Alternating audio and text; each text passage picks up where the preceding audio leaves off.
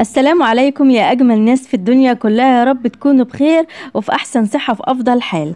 بإذن الله جايبة لكم النهاردة وصفة من أقوى الوصفات لإزالة التجاعيد اللي موجودة في الوجه واليدين والرقبة والجبهة وكمان تفتيح البشرة وإزالة أي بقع داكنة موجودة في الوجه. بمكونات طبيعية متوفرة بإذن الله في جميع الأسواق. يلا كده نبدأ الطريقة على بركة الله. بس ليا رجاء وطلب عندكم يا ريت لايك للفيديو بإيديكم الحلوين فرحوني يا بنات باللايك ويشجعوني واشتركوا في القناة وفعلوا زر الجرس عشان توصلكم كل الفيديوهات. يلا كده نبدأ على بركة الله الطريقة.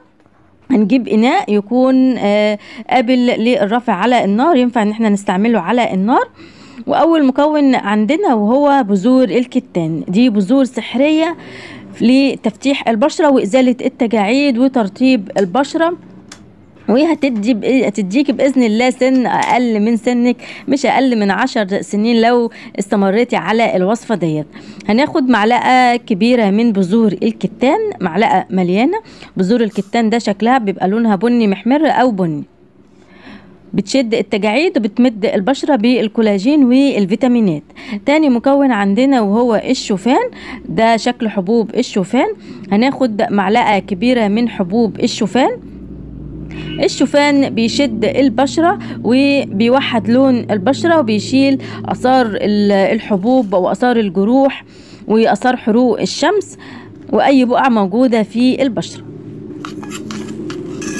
هنحط عليهم كوباية مية كوب ماء عادي من الحنفية بالشكل ده. لو حبينا نزود الكمية معلقتين هنحط كوبايتين مية. يبقى نحط كوب ماء وبعد كده هنرفع بقى الخليط دوت على النار على نار هادية ونسيبه يغلي لمدة عشر دقايق. وإحنا بنرفعه على النار لازم نقلبه مع التقليب المستمر والتحريك المستمر لحد ما تظهر عندنا رغاوي بيضة اللي هي جل الكتان أو هلام الكتان. بيبتدي أهو الرغاوي تظهر. ده دي بتخرج من بذور الكتان. مع التقليب المستمر زي ما قلت لكم. بيكون عندنا طبعا يعني إناء كده مخصوص للوصفات. بعد كده بننزله بقى الإناء بنرفع الإناء من على النار. بعد ده شكله أهو الهلام أو جل الكتان. وبعد كده هنصفيه بمصفى أو بقطعة شاش أو بأي شراب فيليه قديم عندكم. ممكن نصفي بالشكل ده. وده شايفين اهو هلام الكتان أو جل الكتان. والجل ده برضو ينفع للشعر مش بس للبشرة. بينعم برضو وبيرطب الشعر وبيطوله. هبقى أصفي الكمية كلها وهرجع لكم. وعملت الكمية كلها وده جل أو هلام الكتان. هنحط بعد كده زيت اللوز الحلو. هناخد معلقة صغيرة من زيت اللوز الحلو. زيت اللوز من أقوى الزيوت اللي بتفتح البشرة وبتشيل أي تجاعيد وأي عيوب للبشرة. بتعمل كده صنفرة للبشرة. المكون اللي بعد كده اللي هنحطه وهو عسل النحل. عسل النحل يا ريت يكون طبيعي. بإذن الله هكتب لكم المكونات في نهاية الفيديو فتابعوا معايا الفيديو للنهاية. هناخد معلقة صغيرة من العسل. العسل إضافة ممتازة لأي مسك أو أي قناع للوجه لأنه بيفتح البشرة وبيرطبها وبيشيل أي بقع داكنة في البشرة.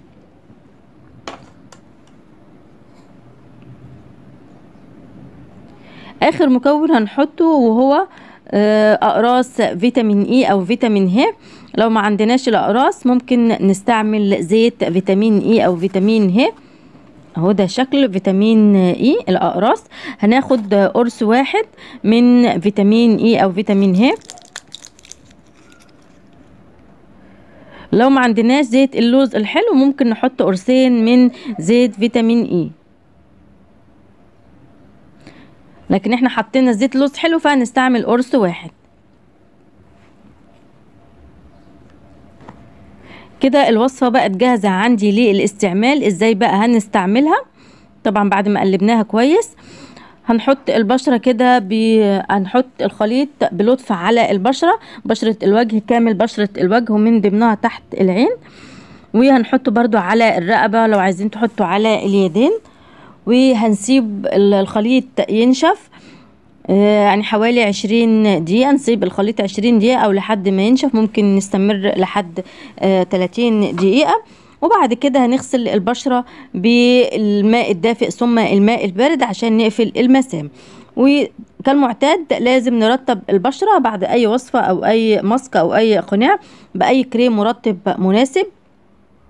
زي مثلا كريم دوف مرطب ممتاز جدا للبشرة ومناسب للبشرة الحساسة أو كريم جونسون ممتاز جدا في الترطيب أو ممكن نستعمل كريم بنسنول آه، بيرطب وبيلطف البشرة وبيزيد من حيويتها. أي كريم مرطب مناسب لنوع بشرتكم. الوصفة هنستعملها يوميا وبإذن الله من أول أسبوع هتبان النتيجة وهتبقى البشرة خالية من أي عيوب ومن أي بقع وخالية من أي تجاعيد وهتباني بإذن الله أصغر من سنك بعشر سنين. آه والوصفة آه صالحة لمدة أسبوع وهنحطها في علبة زجاجية أو علبة بلاستيك بس يفضل طبعا علبة زجاجية ونحتفظ بها في التلاجة لمدة أسبوع صالحة للاستخدام لمدة أسبوع.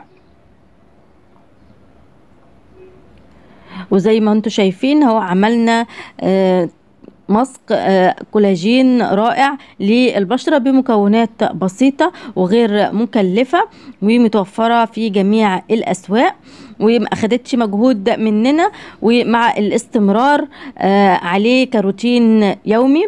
هتبان البشرة كلها صفاء ونضارة وحيوية. وخالية من أي عيوب وأي تجاعيد وهتبني بإذن الله أصغر من سنك بعشر سنين على الأقل. بس كده حبايب قلبي دي كانت نهاية فيديو النهاردة. يا رب يكون عجبكم يا رب أكون أفدتكم. ما تنسونيش من صالح دعائكم ويا ريت كده لايك للفيديو وفرحوني وشجعوني. أشوف وشكم بخير الفيديو الجاي. لا إله إلا الله محمد رسول الله صلى الله عليه وسلم.